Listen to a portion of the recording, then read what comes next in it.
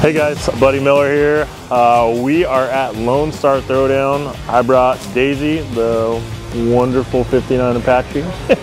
we drug it down from Seattle. We found uh, Daisy in a much different configuration at Good Guys a few years ago. A friend of mine built it and we took it and finished her up and today is what you see what we did. The only thing left on the frame is the little part under the cab. The rear is a complete custom section. The bed's been sectioned. It's not a long bed, it's not a short bed. Kind of in the middle. It's cupped A-arms, lowered spindles, obviously Detroit wheels. You guys are awesome. We, we love you guys. 350 with turbo 350. It's uh, nothing crazy, just gets us by. The guy that I had paint it, there's roughly 10 pounds of flake in the whole truck. Once we got it back and got it cut and buffed, we took it, had it pinstriped as well. This truck technically is my wife, Neely's. My favorite truck is probably the cookie cutter. It's, uh, it's an orange 70 short box that I built a few years ago.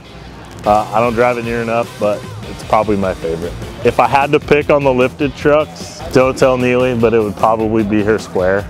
We call her Lucy. We'll be at the reunion, the new show in Chandler. Daisy will be at the reunion and then we've got a couple shows in Seattle booked. Make sure you follow us. Follow me at BMFM64 on Instagram. You can follow my wife at Smiller Smiller on Instagram.